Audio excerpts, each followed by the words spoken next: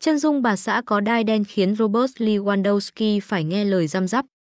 Robert Lewandowski là tiền đạo ghi bàn xuất sắc bậc nhất thế giới trong hơn một thập kỷ trở lại đây. Cho tới thời điểm hiện tại, chân sút người Ba Lan đã bỏ túi tổng cộng 612 pha lập công, đứng thứ 12 ở danh sách các vận động viên ghi bàn xuất sắc nhất mọi thời. Ở tuổi 35, Lewandowski vẫn cho thấy phong độ cao trong màu áo Barca và tuyển Ba Lan. Thành công của Lewandowski có công rất lớn của bà xã Anna, người được biết tới là một chuyên gia dinh dưỡng, một doanh nhân, một nhà vô địch võ thuật.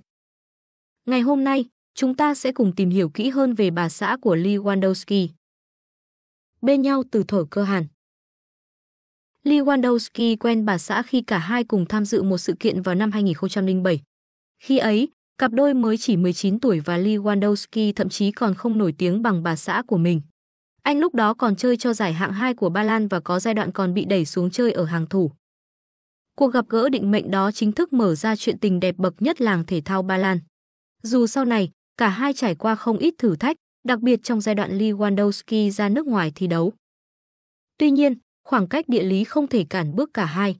Năm 2013, đám cưới trong mơ được tổ chức tại quê nhà Ba Lan, nơi Lewandowski và vợ cùng thề nguyền bên nhau trọn đời.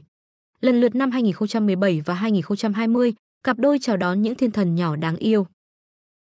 Vợ Lewandowski là nhà vô địch võ thuật toàn châu Âu. Bà xã của Lewandowski bắt đầu làm quen với karate từ khi mới 13 tuổi và nhanh chóng cho thấy tiềm năng đặc biệt. Thực tế, gia đình của cô vốn có truyền thống thi đấu môn này khi chú và anh họ đều là những nhà vô địch quốc gia. Thời còn thi đấu, Anna giành được vô số danh hiệu lớn nhỏ, nổi bật là 29 chiếc huy chương các loại tại giải vô địch quốc gia. Bên cạnh đó, cô nàng còn có 3 lần vô địch châu Âu, 3 lần giành huy chương đồng giải vô địch thế giới. Cô dừng thi đấu chuyên nghiệp vào năm 2013 khi 25 tuổi. Lúc này, Anna là một trong những cô nàng người Ba Lan hiếm hoi sở hữu đai đen môn karate. Chúng ta đều biết Lewandowski là một người đàn ông mẫu mực của gia đình. Nhiều người vẫn nói vui rằng sở dĩ tiền đạo này ngoan đến vậy là vì không dám đắc tội với bà xã cực kỳ giỏi võ. Vợ Lewandowski sở hữu khối tài sản khổng lồ.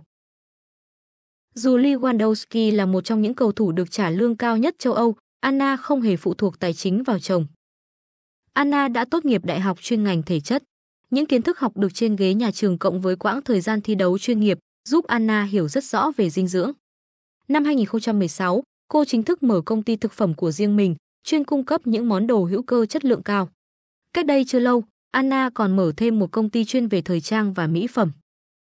Cô cũng viết và xuất bản những cuốn sách về dinh dưỡng, sức khỏe và tập luyện, nhận được nhiều đánh giá cao. Các thực đơn do Anna xây dựng được rất nhiều bà mẹ yêu thích và sử dụng hàng ngày. Theo truyền thông Ba Lan, Anna còn là người dẫn chương trình của một số chương trình võ thuật. Cô cũng là chủ tịch của Hiệp hội các vận động viên Olympic của Ba Lan. Lúc này, theo thống kê, Anna đang sở hữu khối tài sản lên tới 42 triệu đô, một con số khổng lồ. Bà xã Anna là mảnh ghép hoàn hảo của Lewandowski. Là một chuyên gia dinh dưỡng, Anna được cho chính là người xây dựng thực đơn và chế độ ăn uống cho chồng. Chính nhờ điều này, Lewandowski vẫn trình diễn phong độ đỉnh cao bất chấp đã bước qua tuổi 35. Trong một buổi phỏng vấn vào năm 2021, Lewandowski còn thừa nhận vợ còn là huấn luyện viên tinh thần của mình. Cô ấy chính là nguồn động lực để tôi cố gắng, là người đã cùng tôi vượt qua những khoảnh khắc khó khăn nhất, chân sút người Ba Lan tiết lộ. Nhờ tài quán xuyến và khả năng sắp xếp tài tình của Anna, Lewandowski có thể yên tâm mỗi khi phải thi đấu xa nhà. Nhờ có Anna, Lewandowski đã trở thành người đàn ông hạnh phúc nhất trên đời. Anh giờ sở hữu mọi thứ, từ tiền bạc, danh tiếng cho đến một mái ấm hạnh phúc với tràn ngập những tiếng cười. Cảm ơn các bạn đã xem hết video. Bấm đăng ký để không bỏ lỡ video mới nhất.